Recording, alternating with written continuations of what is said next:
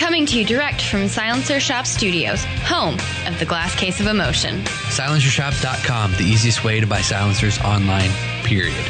Stand by for education, enlightenment, enjoyment, and entertainment. He's not here to talk about your feelings. He's not here to say what you want to hear. He's here to say what needs to be said. Ladies and gentlemen, and children of all ages, please welcome your host, the pimp hand of America, Professor Paul Markel. All right. Well, before we go one second further, I need to know: Did you, Jared Markel, watch the artisan toilet paper commercial? No, I didn't.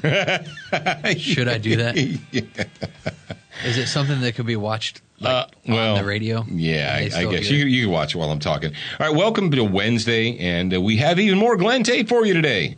We're going to do a question and answer session with our friend Glen Tate, our new friend, uh, who actually, you know, we, we encounter this quite often. How people agree with us without even knowing that they're agreeing with us. Don't they do that, Jared? Yes. Yes, it's like uh, Glen has his own Patriot Fire team without even knowing that he has his own Patriot Fire team, which is just, which It's is crazy. cool. It's crazy. It's crazy. Is there a reason that this is highlighted, or I don't need to highlight that? Uh, I don't know. In my show notes, you had something highlighted, and I just clicked the button and it went off. Oh, so you had something highlighted? No, I don't think it was me. I think it was you. I see your little red cursor there. Yeah. You guys Well, know if how I had works, it don't you? highlighted, you? couldn't click and make it go away. Mm, I don't know. Okay. I don't know. You have that. power, but not that much power. I do, I do. All right. Well, it is Wednesday. We're going to talk about some some fitness because that's what we like to do. But before we do that, we're going to thank our friends at Crossbreed Holsters, the makers of the oh the Super Tuck Deluxe, also known as the Bruce Jenner commemorative. Boom. Boom. Frog Lube, it just works and it's extreme. FrogLube.com. Century Arms, the sweetest smelling arms maker in the U.S. of A. Attention, new listeners. We produced a free training video series called Seven Training Tips That Could Save Your Life. We want you to have access to this life saving information. Get instant access now at studentofthegun.com. Do you watch Student of the Gun TV, read the blog, and follow us on Facebook? If you answered no to any of those questions, you are wrong, but you can easily fix yourself. Go to studentofthegun.com to find everything SOTG. I got a question for you. Yes. Did you roll the regular opening, the normal opening with you and Alex and everything? Yeah, I think. Are you sure you did? Did I? Yeah. I, I can't remember hearing it. yeah, I did. I was looking at show notes. I was reading stuff, and I just knew when it was time for me to talk Yeah. Because I I really had I did not hear. All I heard was the end music, and you started fading it, and I knew it was time for me to talk. Interesting. That's like I'm like this Pavlovian response now. Yeah. It's kind of like He just does it. in three, two. Did you notice when we were what filming supposed to do? when we were filming with Tom? Yeah, they said one. I They was said like, no. one. I'm like, dude, because they're like three, two, one. I'm like, You don't say one. we don't say one. You're you're messing me up. And they didn't say speeding either. They said Yeah, they said speeding. they should. I thought they When said they- rolling. Y- Well, they did both They said rolling because I heard him say speeding a couple times. Yeah. So sometimes you you, you got to have your directions. You have to have your set directions because otherwise I don't know what I'm doing. I'm just standing here. So I'm I see an ad right here on my screen, and it says, "Get a free Roku 2 when you prepay three months of Sling TV." Wow. I don't know what that is, but I, I do don't know that Student of the Gun has an app on Roku, and you can watch a TV show. Yeah, there. so do something like that. Before we get into the SWAT Fuel Fitness Talk, let's thank our friends at Silencer Shop for making all this available, making us loud and other people quiet. making us louder, Or other making things the world quiet. quieter. Yeah. That's right. Brownells at brownells.com. If you have a gun, and even if you don't, they've got something for you, so check them out. And Duracoat. You can get Duracoat products at Brownells, or you can go to LauerWeaponry.com. And don't forget about the uh, Student of the Gun gun tattoo when you're on there shopping around. You know you want to get one. I had a question. Can the Student of the Gun gun tattoo be applied to the new Taurus bump safe holster? Uh, I don't know. I'm, I don't think so. You don't think so?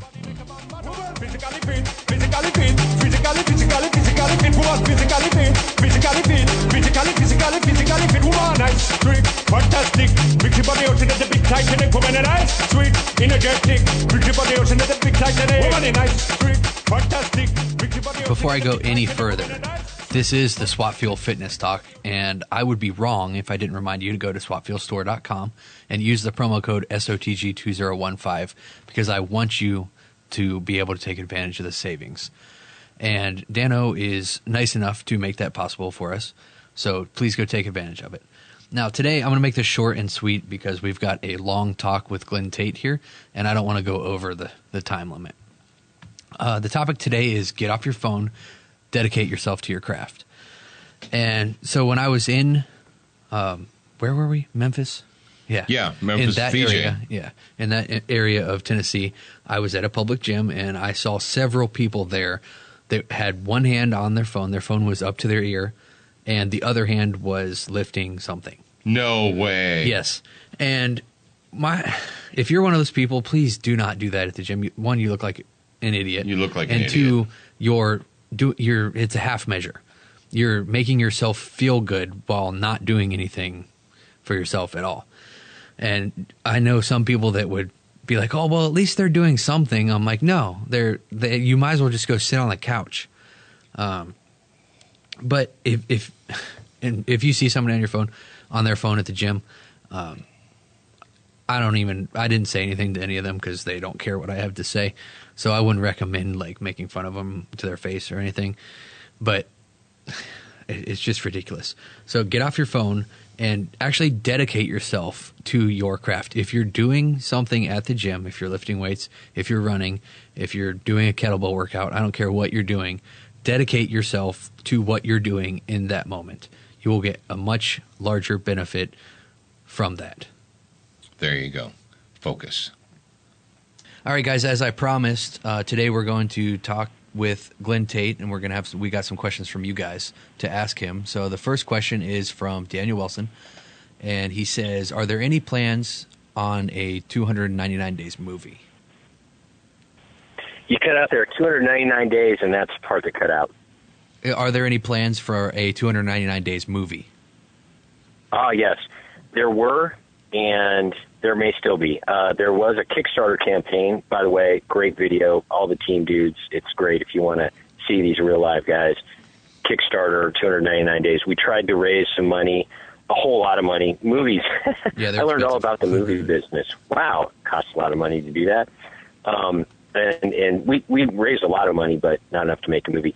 Um, as far as it going on in the future, I'm not actively going out and trying to get that together. A couple of reasons for that. Number one, I'm a lawyer and I like work a lot at my day job.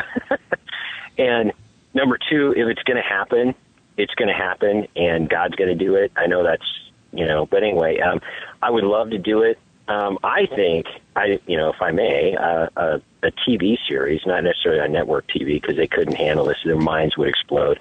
But um, you know, all the other avenues now for Maybe if you- series, um, if you had Netflix and that kind of stuff.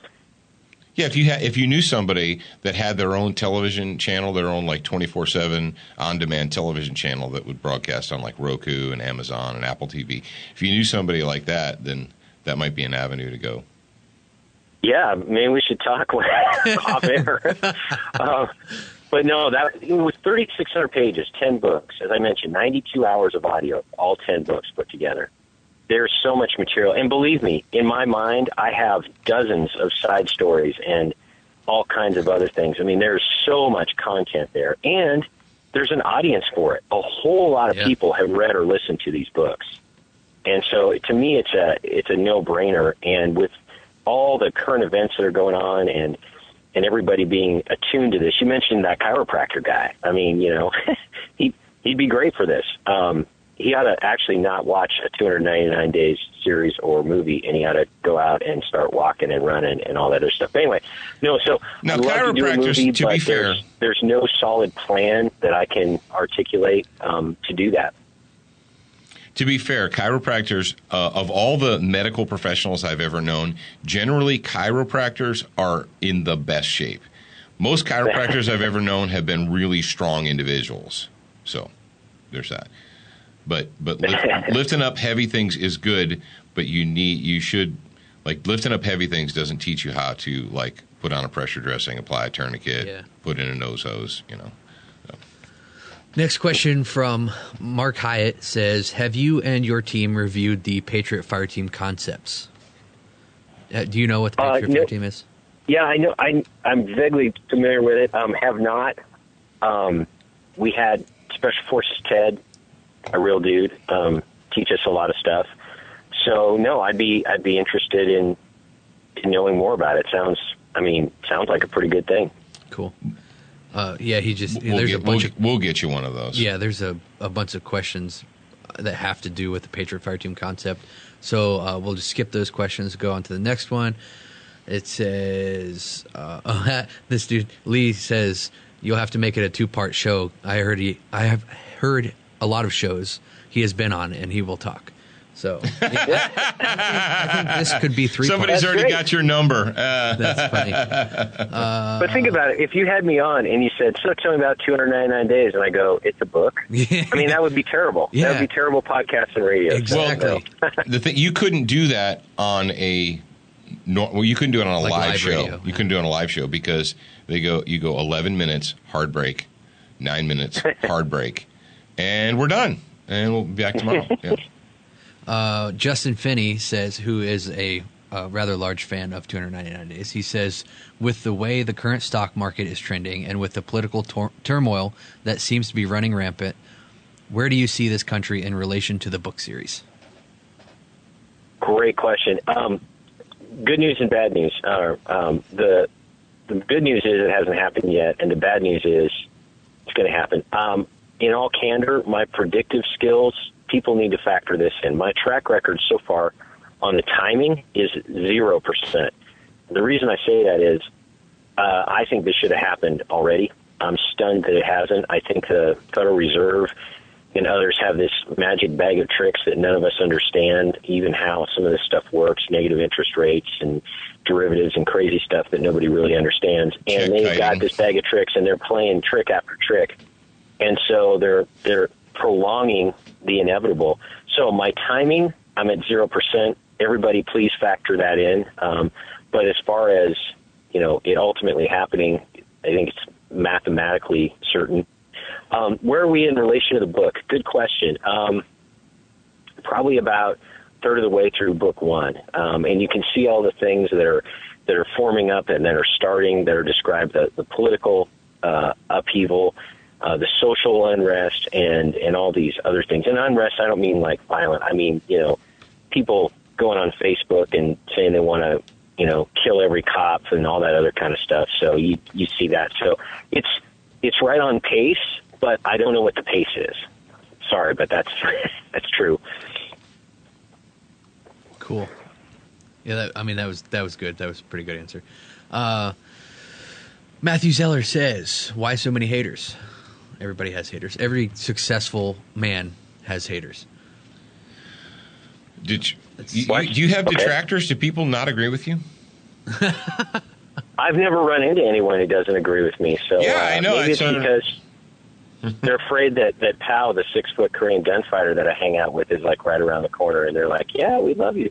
Uh, no, I I don't know. I, there's been a surprisingly few number of haters. Um, I'm kind of kind of disappointed to be quite honest. I wanted some haters, doggone it.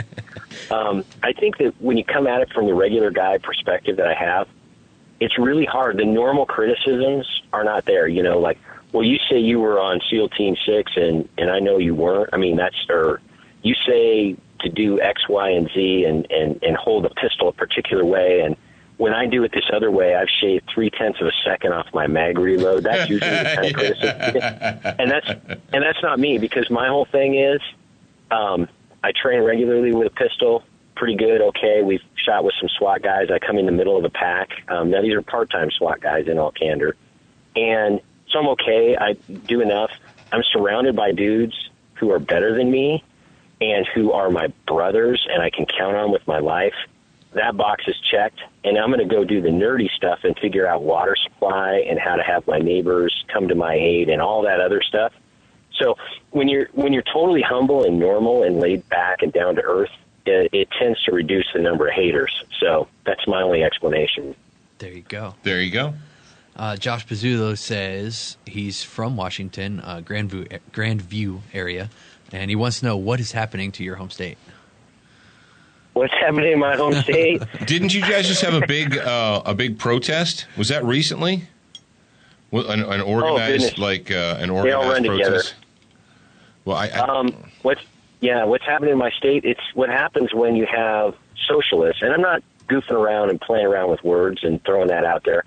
Um, actual socialists, by the way, you know, Seattle City Council. You know, the party designation. You know, there's like on the ballot, there's a choice between a D and an S, Democrat and Socialist. Uh, it's it's when you have one party rule. Democrats have run Washington State uh, exclusively for decades the inbreeding and the soft corruption is mind blowing.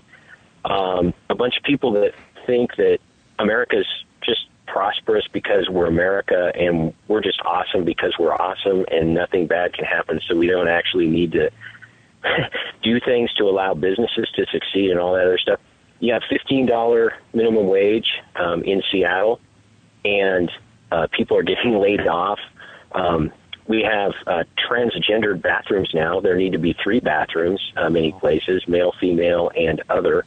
Um, and you got that going on. We have, in one case, a uh, an old man um, goes into a bathroom full of girls uh, that are, you know, changing to go swimming, and uh, he's got a perfect legal defense. He identifies as transgender, so he can be there. So you got what's happening in our state, predictable.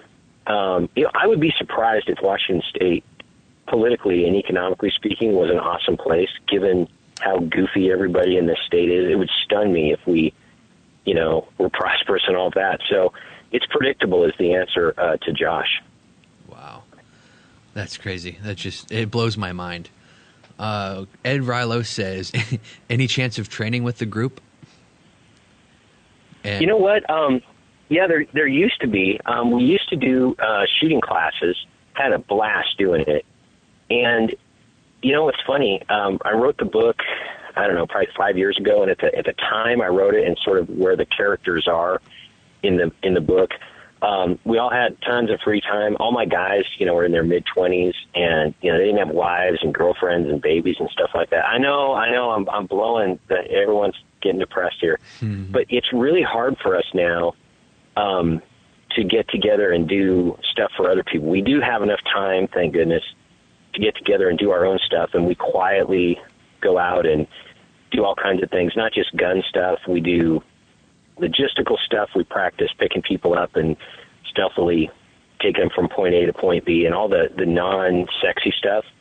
Uh, so we do plenty of that, and that's our first priority. So maybe in the future we could do that kind of stuff, but um, it, it's harder to do than it than it sounds. Um, you know, because it takes you know a weekend a month, and, and getting all these guys together is is rough for that. Now for our own stuff, it's not hard to, for us to get together. Right. Uh, Scott Lyon says, any suggestions for a young man about to start law school on how to support and defend the Constitution from the outset? Uh, suggested reading, and he says he's hoping to channel the WAB spirit after graduating. Wow, what a fantastic question. Um, good for you, Scott, for doing what you're doing. A couple things, and this is outlined a little bit in 299 days when I talk about what it was like being in law school, um, being the way I am, and being the way everybody else in law school is. Uh, don't expect anybody um, to understand you. First of all, just you're going there. Consider it like vocational school. You're going there to learn a trade. Be nice to people and be social and stuff, but um, none of these people remotely understand you. Um, uh, a quick little side story about that that illustrates this well. We're doing this mock trial, and there's a fake set of facts, and there's a a guy who eyewitnesses say walks into a a, a restaurant. He's left-handed, and with his left hand, he clicks the safety off, and he starts shooting people. I raise my hand, motion to dismiss. It's impossible. I look at the kind of gun. It was a, like Smith and Wesson Sigma or something. This was the early '90s. I said the safety is on the left side, and I demonstrated with my hand how it would be uh, impossible if you're left-handed to actuate or to take off that safety. And did did everybody go, "Hey, you just you just protected an innocent person from going to jail"? Did anybody say, "Wow, you're you know really experienced in life. You understand these things"? No, we had a conversation about gun control. and that's what I'm talking about. Don't expect anybody in law school to understand you. So, um, as far as working at a real WAB, there are such places. There are um, often trade associations for um, industries that need to protect themselves from government regulation. You can find them. There are some good um, kind of pro bono legal places out there you might want to look into in, my area uh, Pacific Legal Foundation, uh, the Institute for Justice. Try to do an internship or something there and just outwork the competition. Just go and drop by and talk to people and get to know people and volunteer for stuff. And um, it's surprising how how often that can work out. So don't expect to make a ton of money and have a super easy life and everybody think you're cool because you're a lawyer. I don't even tell people I'm a lawyer. I mean, best man at my wedding was the real um, Steve in the books. He's he's really a logger. Um, so I don't think being a lawyer is particularly cool. In fact, I really don't talk about it much if I don't have to. So if your expectations are set right, it can be great. It's a great way to do good things. It really, really is. Um, as long as you know that you're going to make some personal sacrifices to go do good stuff. So yeah, good on you, Scott. JD says, uh, Mr. Tate, would you please describe your introduction to SOTG, Student of the Gun? Please describe my introduction.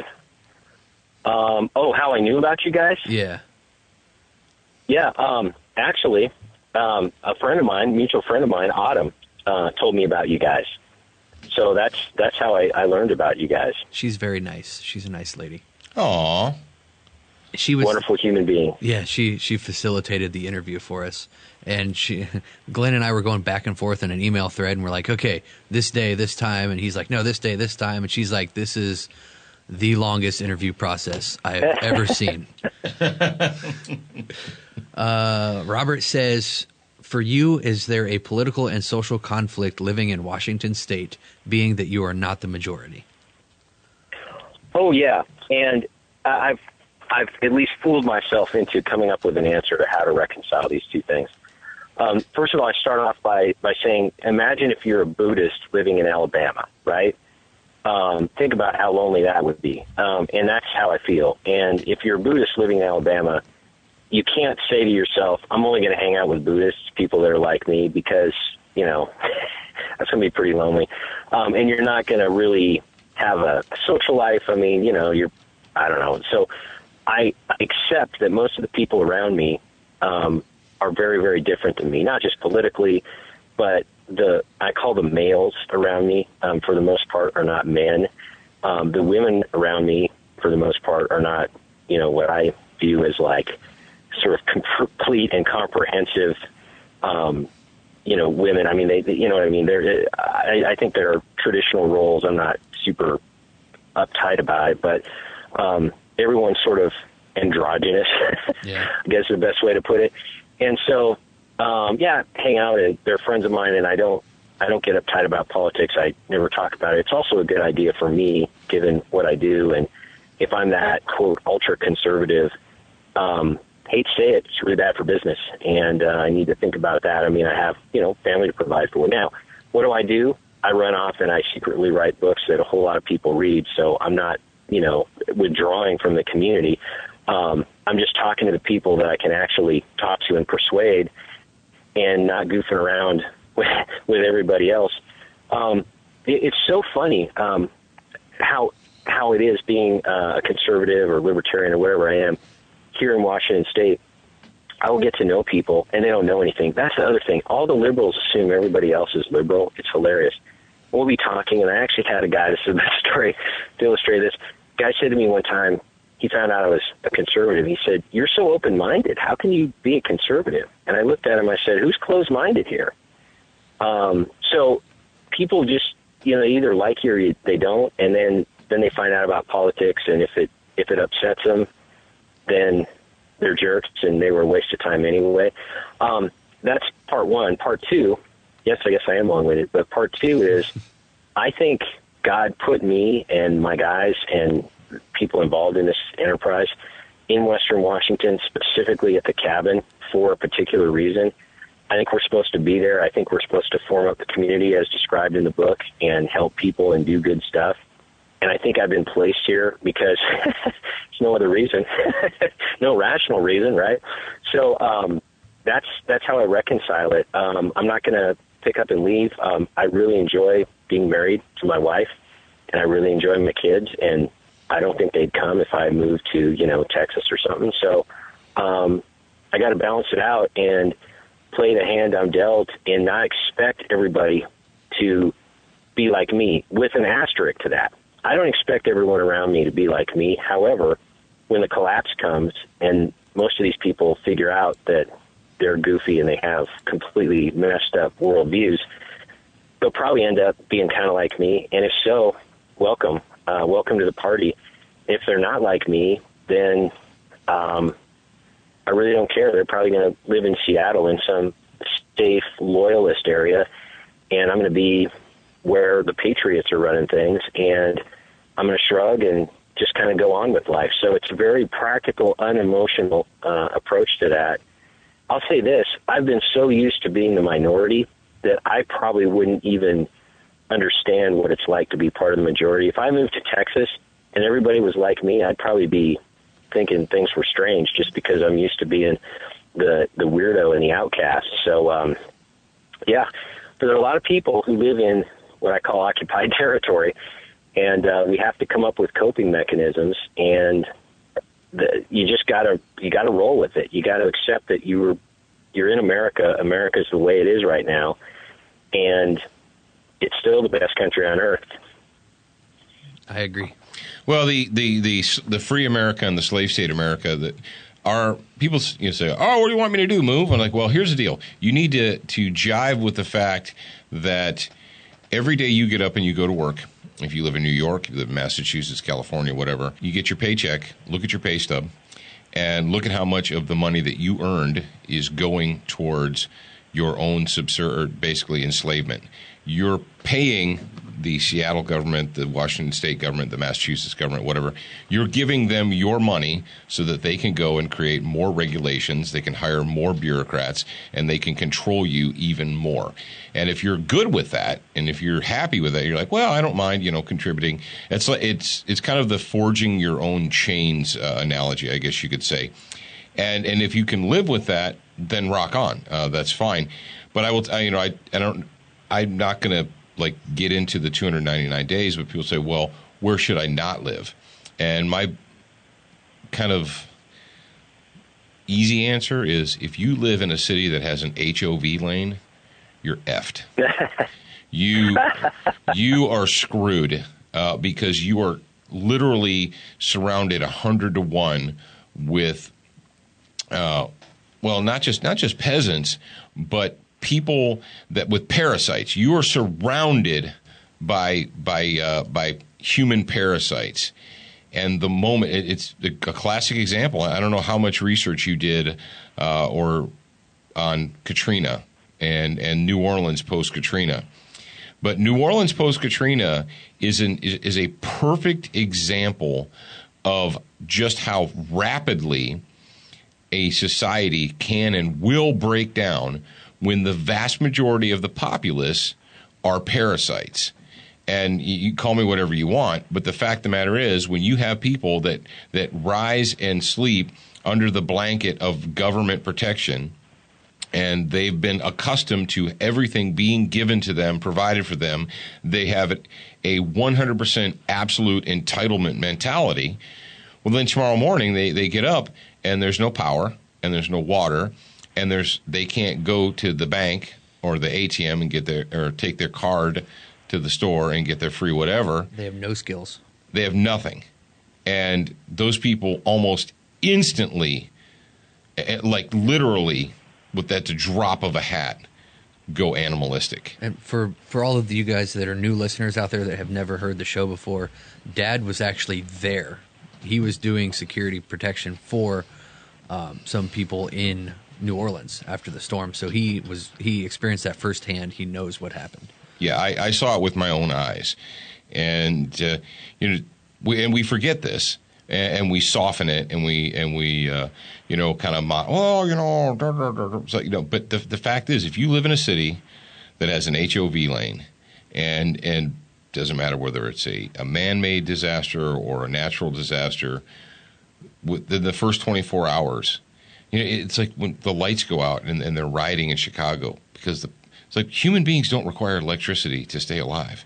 You know, uh, the power's been out for an hour and, and you're like looting stores and killing people.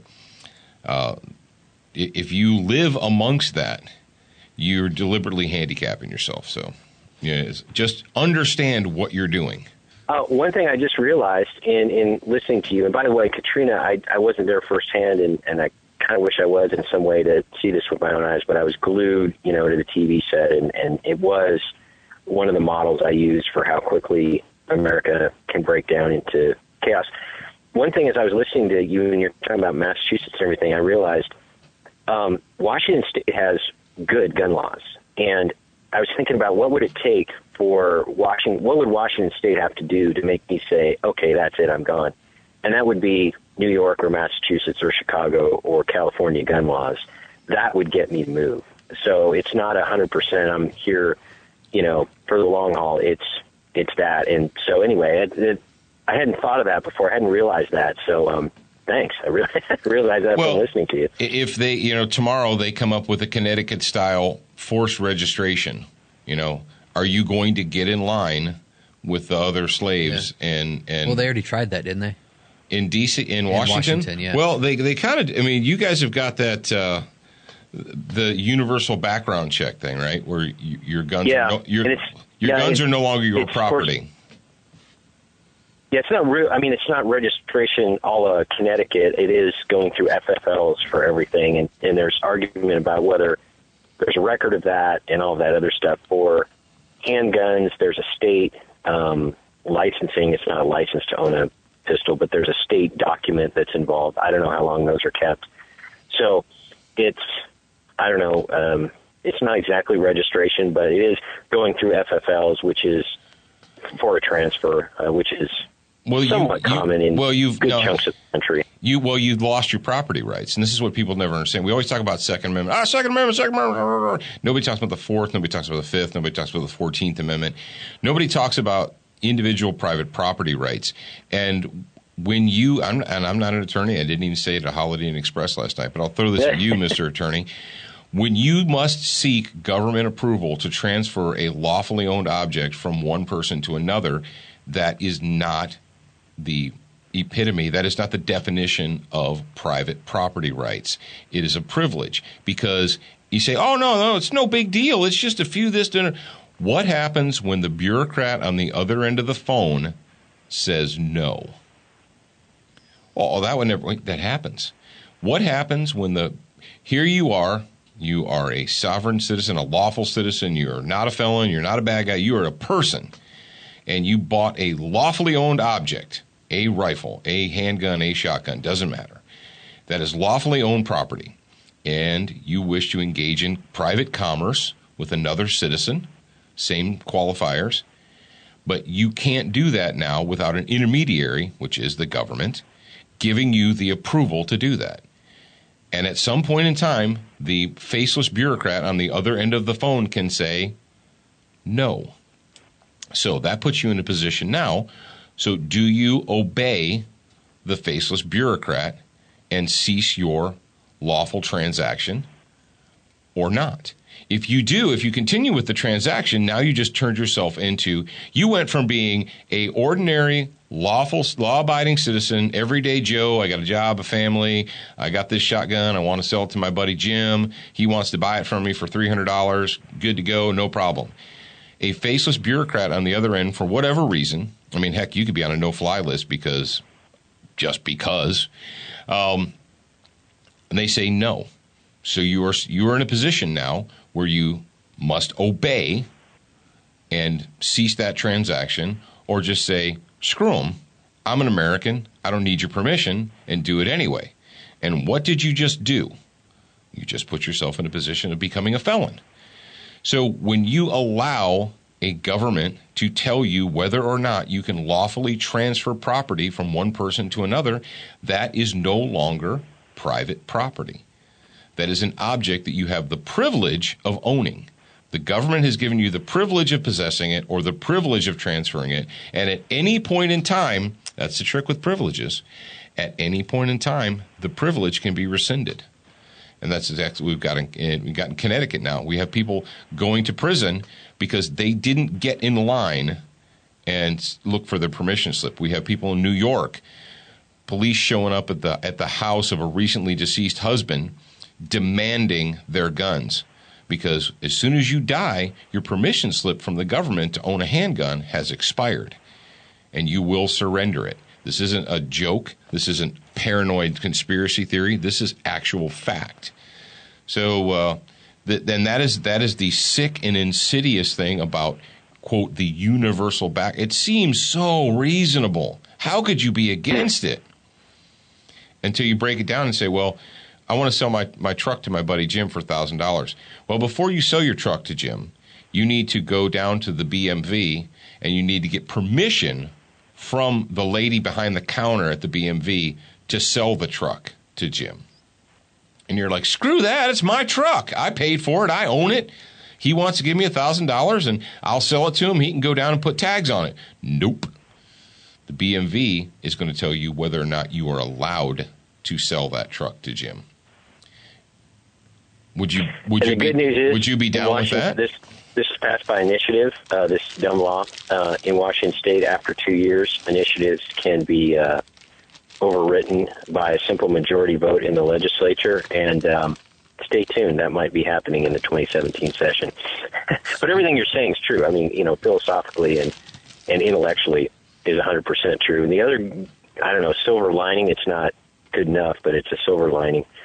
Um, every cop I've talked to, and I have a lot of cop friends, various parts of the state, they laugh at the idea of enforcing this law. So good on them. Now, it's still a law and it's still a problem, but um, uh, I'm just, yeah, that's the one bad part of Washington State's gun laws. Now, did Oregon do the same thing? Did you do it first and they did it second, or they did it first and you did it second? I I honestly can't recall. I think they did it second. Now that it's a bit of a memory. That's that's interesting, and I think that if Good job, people- Washington. If people if people turn the argument from ah Second Amendment, Second Amendment to this is my private property, I think that more people would listen. But that's just me. I'm Oh, just, here's I'm another just a dude. Yeah, here's another thing. As far as that particular law goes, um, I have a, a friend, uh, and she's a woman. Went through a divorce, and uh, her husband, uh, an ex-husband, I guess, came back and uh, actually actually hurt her. And she called me. You know, what do I do? And I wanted to loan her a handgun, but couldn't because of this stupid law. Now, luckily, the bad guy did not return. But I mean, what a terrible position to put to put her in. I mean, that's that's unconscionable. So, yeah. Uh, I've got two more questions for Mr. Tate here, so we're going to finish up with these questions. Uh, Alan K says, "Any plans for another book series?" Great question. I get that a lot. Um, the answer is at this point, no, but it could happen. And here's why I say that. I mentioned that I would just sit down and write this thing, and I was at the keyboard, and all these amazing people I'd never written before, and it all just came together. Um, and I think God wanted me to get a message out, and I, I think I've done that. I mean, He's done it, but I've done my part. And I don't have a big message burning in my mind like I did when I sat down to take on this kind of silly venture when you think about it. Never been published. You write 10 books and then you call a publisher. I mean, who does that? That's dumb. But um, it, here's why I say it could happen. Um, there could be another thing that needs to get out, another message or something. And I know that, you know, God can turn that switch on in my head and I can just sit down and and do this stuff. So it's a bit of a of a maybe answer, but I could see it happening, but there are no current plans for it. Um, I'd really like to do it, but I'm not gonna just put out stuff, you know, just to put out stuff. You're not going to force it. Yeah, you're not going to do a, uh, a Boondock Saints 2. Thank you. Thank you, Ern. Or when Fonzie jumps the shark in Happy Days. There'll be, no, Don't jump the shark. there'll be none of that. Yeah, there's there's so many. Our world is filled with sequels that just shouldn't be there. Um, The the whole the whole spin off series, Joanie Loves Chachi. There you go. That's all I there have you to go, say. Tony loves Chachi. Just because we need to. I, I feel like that's what happens to, to dad when he writes his book is he's like, Oh, I have a message and it's it's channeled through him into the paper and he comes to me and he's like, I have I have five books written. What, do- what do you want me to do with them? I'm like, What? well how did you do that in two days? Uh, all right, next next I don't question. write five books in two Yeah, days, but close enough. Uh, Arturo says, this is going to be the last question. Arturo says, uh, what, if anything, would you change if you were to start writing 299 days today? Wow. Um, this is a very unprincipled answer, but um, I don't know. I found that honesty is the best policy. In all honesty, I would not have written as much stuff about my wife as I did. Um, she was not super thrilled. Uh, I'm going to put that mildly. Not super thrilled to find out that I secretly wrote a book, and a lot of it's about her kind of bad attitudes. Now, she's changed quite a bit, and the bad attitudes are are pretty much gone. So you know, good for her. But um, I hate to sound like a wuss, but it's the truth. It took a tremendous toll um, on her and me, and um, I would have probably done it differently. The flip side of that is that honesty about a wife who thinks you're crazy for prepping has resonated with It's hit home. tens of thousands, maybe hundreds of thousands of people, and it's probably helped them quite a bit. And maybe that's one of the things God wanted me to do, and maybe it's a sacrifice I need to make. Um, I'll say past tense, a sacrifice that I did make because I think things are fine now. But um, yeah, that's that's the honest answer to that question. As far as content and all that sort of plot stuff and facts that are in there, wouldn't have changed a thing. Um, it's it's great the way it is. Sorry, but it's true. So yeah, um, No, you're yeah, absolutely. don't you don't write have to be sorry. Book series about your wife being mean and stuff, and she ends up being better in the books. By the way, yeah, that's kind of a kind of a bad idea to do. So if uh, you're thinking about doing it out there, um, Arturo or anyone else, yeah, don't do that. No, we, we do that all the time, uh, or or we get that question all the time. We're like, my wife thinks I'm crazy for, or my wife said, you know, my wife wasn't she wasn't anti-gun by any stretch of the imagination when we got together, but she had very little experience, and at one point in time, and this is early on, she's like, I don't think see why you think you need to have so many guns. And the truth is, we were young, and young couples don't have money. I mean, I did not have that many. I might have had five or six, you know. And, uh, and but in her mind, you know, why do you think you need to have so many? And she actually, and I don't know who she was listening to. Maybe it was her sister, or maybe it was somebody. But at one point, she said, "Well, what if I decide? You know, what if it, I tell you that it, it's either me or your guns?" And I was like, "Oh, we want to, we Oh. want to, we want to play the hypothetical game, huh?" Oh, That's when you invoke your Fifth Amendment right against self-incrimination. that's right. But but you know, Answer to that question. Well, and the, and what you guys need to understand, you're like, well, you know, guns are just objects. No, guns are instruments of liberty. And if you're willing to surrender your love and your desire to have liberty for the comfort and convenience of having a companion, then you actually don't have liberty anyway. So you say that you own firearms as instruments of liberty, or maybe you don't, but if you say that your guns are not just toys, that they're instruments of liberty, but you're willing to sacrifice those for some security and convenience, well, Ben Franklin, safety and security, then you never really had it in the first place.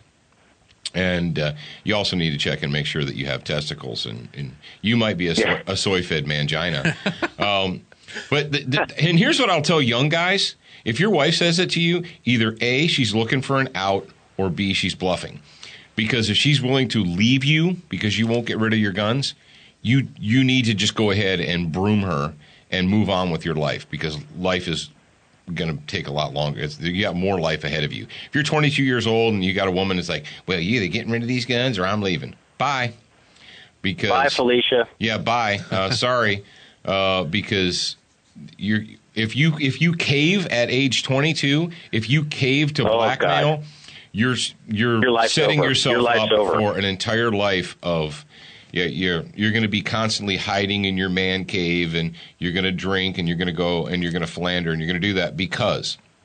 So, yeah, I know it might hurt. It's like pulling off a band aid or whatever. It might be inconvenient for this moment, but in in the scheme of things, uh, sometimes you just got to tell your wife no. And you, you have, Absolutely. so you got to be the man, and you that's that's your role. Now I know there are women listening too, but women sometimes the man's role is no. You're supposed to be there to nurture, not to nag. Two ends. And nurturing different. works better than nagging, by the way, ladies. And trust me on that one. It works way better. If if you if ladies that are listening, if you want to be able to get what you actually want, if you want your husband or boyfriend to do what you want them to do, uh, pick up the book by Dale Carnegie, How to Win Friends and Influence People, and listen to it very carefully. Man, that's been around forever. Yeah, I know it's an old book, but not enough people listen to it apparently. Uh, all right, we've had Mr. Tate on here for about an hour and a half Yep, now, and I, I don't want to take up too much of his time, so we're gonna say our goodbyes and thank yous. Aww. Oh, can we do that? Yeah, we're gonna Yeah. break. Yeah, we're gonna do that, and we're gonna break this. And uh, Glen, in case, well, this is gonna be two different days, Pro- maybe three. maybe three. Yeah, Depends on how Jared cuts it up. Well, thank you very much to our friend Glen Tate for finally, after months of teasing, joining us on Student of the Gun Radio. All of you hippies out there, go to 299days.com. That's the numbers 299 days, or you can just Google it or duck it, or if you're one of those weird people that doesn't know how to use a computer and you have Bing, uh, you can do that too. I, I mean, we won't we won't hold it against you. We'll just laugh behind your back. All right, thank you, Glen. Any parting words for the people?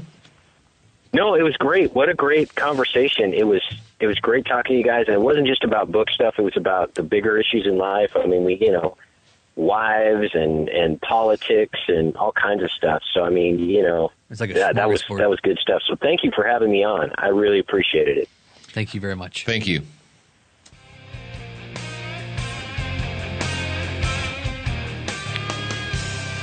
All right, thank you for indulging us for three full days uh, of material with our friend Glen Tate, 299 days.